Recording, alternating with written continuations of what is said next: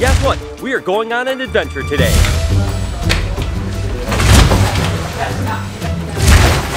I'm not intentionally trying to do this. He's holding on to me and I don't want to pull my hand without like scratching it so hard. It's kind of a new mutation. I've never really seen one before. And this is not fun right here. How's that? Don't let her roll up. Okay. Yeah, I got it. That made my day. This man is working his butt off on a daily basis. Harder, harder than anybody I've ever seen in my Well, life. listen, I appreciate you. man. Really, the most rare room in all of herpetoculture. Yeah. Good morning, everybody, and welcome to the vlog. It's the start of an absolutely amazing day, and guess what? We are going on an adventure today. And that adventure is actually including Andrea, Bruce, Jessica, and Jay back there. We are actually heading down to Indianapolis to my buddy Forrest. Gonna go check out some really cool animals. Should be a fun time. It's a beautiful day to travel. Let's just have a good time. I think we have about four and a half hours.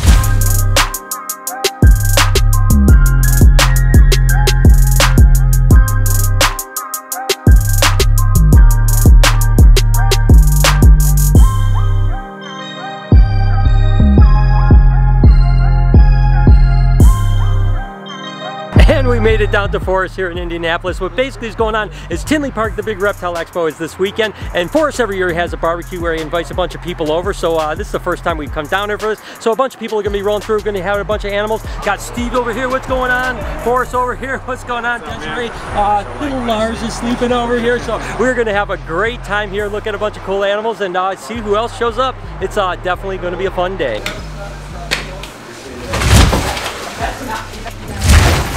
Super excited. We're actually taking out a croc monitor, one of your guys' dream animals, right? It's been you guys one since day one. I've been wanting one of these. That's awesome. And uh, Steven actually has a little baby croc monitor here. Of course, we won't get the big one and the baby one too close together, but look at how absolutely adorable these are. I'm telling you, these are like next level, next level intelligence. So uh, super cool. We're gonna get out a two-year-old. About Yeah, two, about two, yeah. About two years old. So gonna get out. And her name is Hilo. Kilo. Kilo. So her name is Kilo. So uh, let's go ahead and let Forrest uh, work his magic. All right, so let's get uh, Kilo out.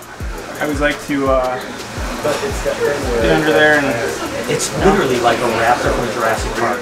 yeah, that's how I feel every time. It took a long time to get enough trust to be able to touch her back and do those things that make her nervous. I've been really excited to show this to uh, Bruce because I think Bruce is like the new Monitor the guy. new monitor whisperer, and him and Jessica do incredible work. So Forrest, tell me a little bit about Kilo. Kilo was the first baby crocodile monitor that I got. Captive hatched, absolutely out of the egg within the past month. That's something that outside of zoo hatched animals, which there's only been a few zoos that have done it, being able to get animals that small is, is a rarity, especially you know from this beautiful locality. I got these from my friend Joe Satowski. This was the first one. It was his personal animal that he was going to keep, and uh, it was just incredible. I mean, right off the bat, you know, was able to socialize it, interact with it every day. For me, they're the ultimate reptile. Oh my gosh. They, I they mean, really are. It's it like literally is it's like a, a, a raptor. That's what I thought when I seen it in the bag the first time. I was like, this is a dinosaur. Like, It's unbelievable. I mean, Bruce, the way it looks at you is crazy, right? yeah. I mean, it's like trying to figure everything out. What an absolutely Oh wow, he does stunning. have some crazy claws. That's insane. That's cross I see, like, like I'm not intentionally trying to do this. He's holding on to me, and I don't want to pull my hand without like scratching it so hard. just the way those animals' eyes look at you, it's a completely she's different thing. It's crazy. It does get nervous. Yeah. Um, and she'll But she's okay around head. Yeah, like yeah. I've, you know, that's how I work with them as babies. Is I try to, you know, do those things that make them a little nervous. When you were doing this, like, uh, like initially, like, how many times you had to deal with bites and like really bad, like those those really bad situations where you just didn't expect anything to happen. So I told Joe to only give me one if it had never bitten him. Okay. And some of the tests I told him to do was uh, let the thing run away and grab its tail. Yeah, yeah. Pick it up by its tail.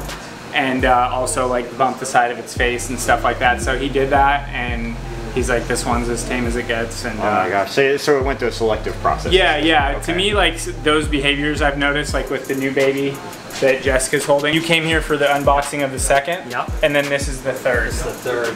Just And, uh, It's so adorable. Yeah. And it's so much softer than you would expect it to be too, yeah. You can literally see it in his eyes. Like it's just it's see just a curiosity. It's not even scared. There's no anxiety there. It's insane. Just working things out. Yeah, just like just figure out like how do I get up higher? you know, the research I've done on reptile intelligence and, you know, the different factors they take into account in judging that, uh, crocodile monitors are the smartest reptile. I know you want one now. I right? do.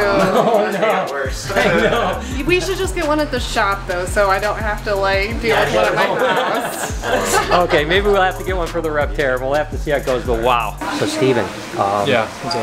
I was gonna film some stuff with the scrub pythons, but Oh, really? Forrest said that it wasn't a good idea, so maybe later without him knowing, me and you can check him out. Yeah. Okay, cool, cool. Don't tell him. Okay. There's different philosophies in, in monitor handling. Some people are against handling adult monitors in captivity, and I don't really understand that because I want to be able to safely work with them like you guys do. I like to get them used to those things that would cause them to have a bite response or flee and things like that. Touching them on the side of the face on accident. Basically wanting to Yeah. desensitize them from everything. Yeah. So there's no accidents down the road. Exactly, because it's, it's just so scary to think about if somebody bumps Kilo on the side of her face and she, you know, has a bite response with that. I wanted actual babies, you know. People will mark an animal that's, you know, wild caught that's a few months old as as something like this. I, you couldn't give me one of those, and these are worth just whatever somebody wants. Yeah, they're, yep.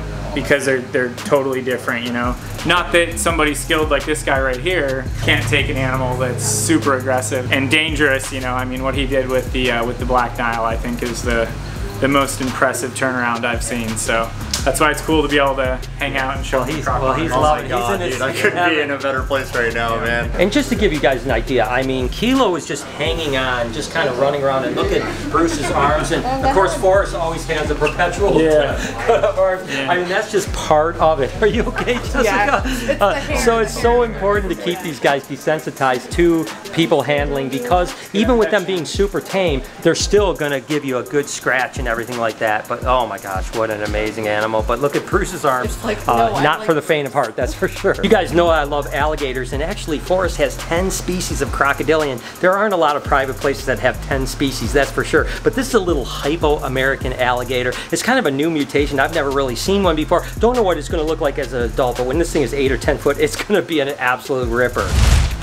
Oh, and this is not fun right here. How's that? This is bite number No, it's Oh, this is not very fun. It's actually my first tree monitor bite. So it's your uh, first tree monitor? Yeah, I've been uh, working them for a while now, but I have not gotten a chance to try to experience this yet. Yeah, you want to get that off your finger. Don't let her roll up. Okay. Yeah, no, I got it. That made my day right there. That's, uh, that's awesome. It's, Oh my gosh. They're truly one of the more painful bites I've taken. Yeah. Yeah, that, that wasn't wasn't fun. Yeah, It wasn't Oh, fun. you're, you're leaking, dude. A little bit, yeah. It's Oh not my the first time today.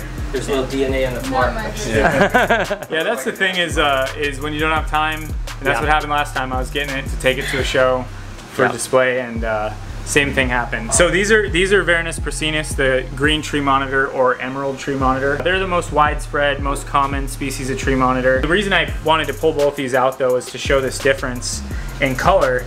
You can see this one right here has a turquoise blue color versus this one that has more of what you would expect to see. When I got it, I started labeling them as turquoise phase green tree monitors. After that, I seen some people starting to sell them for more money than these. One of my friends who, they know a lot about nutrition and supplements and all that stuff, what I learned was it's the same thing as Abronia graminea. So in captivity, it, there's something about the diet that can cause them to uh, look more bluish like that. And it's the same thing with yellow tree monitors. The captive ones don't have high yellow. Right. They almost look green. So I just thought it was a cool fact to show. All right, guys, I'm with Steven. He is, of course, Forrest's right-hand man, and uh, you brought your amazing Python collection when he came down here to work with Forrest. So, Yep. uh, and you really, I mean, you do a lot of really great Python stuff, but uh, the scrubbies are kind of your thing, right? Yeah, I love them so much. I've always been fascinated by pythons in particular. You know, just learning about all the new species, keeping new ones. You know, I started off uh, working with olive pythons when I was 13 years old and fascinated me learning about like white lips, Timors, and scrubs were kind of like the highest level you can get with rare pythons as far as like difficulty to work with and uh, you know, their breeding is very challenging. Um, uh, there's still very little known about it. And once I got my first one, I, I was just hooked. What do you got here, dude? Because this thing is Yeah, ridiculous, this man. is kind of the, the grand finale. This is a uh, Moluccan scrub python or Moluccan scrub python, however you want to pronounce it. Uh, this is the third species that I have here. This snake, every time I look at it, just blows my mind. That insane gold coloration, the purple on the tail. I don't know. In my opinion, That's- this is the nicest looking naturally occurring snake in the world. It really is one of, legitimately one of the most beautiful snakes I've ever seen. So uh, I hope that you'll be able to raise these up and breed them sometime. That's the hope. Uh, wishing you luck with everything. Thank you. Absolutely keep at it, brother. Yep, thank you very right, much. thanks, man.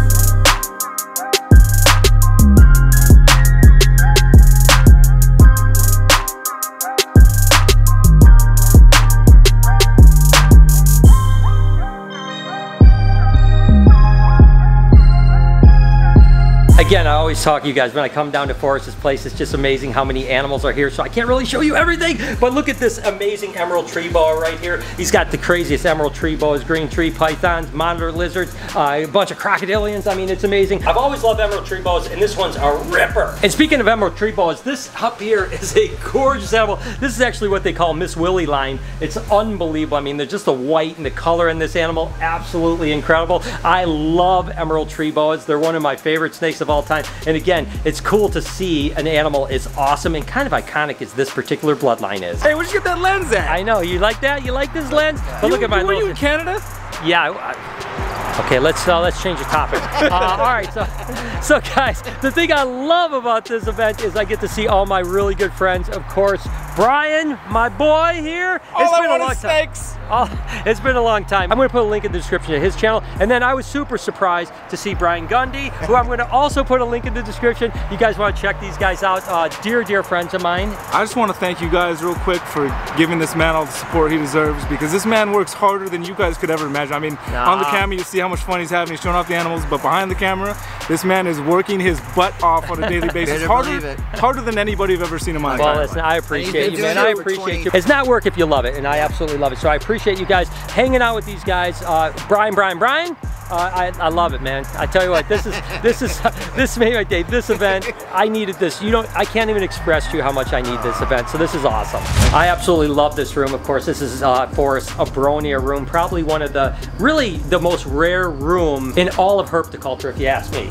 Yeah, I mean it's it's a, it's up there. I mean these are some of the rarest lizards in the world, and we've managed to you know get anything we could from anybody here in the USA to grab every species we can and try to preserve and, and have a place where we can learn about these animals and establish captive breeding colonies. And you've done really well with production. Yeah, this year's this year was really good. We produced uh, several species this year. They're not easy to breed. Babies are really difficult to take care of. They're very sensitive to volatility and temperatures. It's very difficult to give them the right size cage where they can find their food. That's another problem. Yeah. And then hydration is a problem because they're so small. You want the sphagnum to get damp, but if it's too damp, then it's too cold. So you're just fighting all these factors that make it very challenging. And this room is much cooler than your other reptile room. About Yeah. what temperature do you keep this? Because Uh, these are I- from the cloud forest, right? Yeah, they're from the cloud forest, so I prefer to keep it at the hottest time of the year, low 70s. Wow. And then the coldest we've let it get in the winter uh, is 40. Wow. Yeah, so we've Holy taken them down to 40 degrees. Yeah, you don't think of reptiles living at 40 to 70 degrees. That's pretty insane. But uh, what do we have here? So this is a calico phased Abronia lythrochila, and uh, this is a really extreme version. This is definitely like people's, you know, the ones that are the most eye-catching.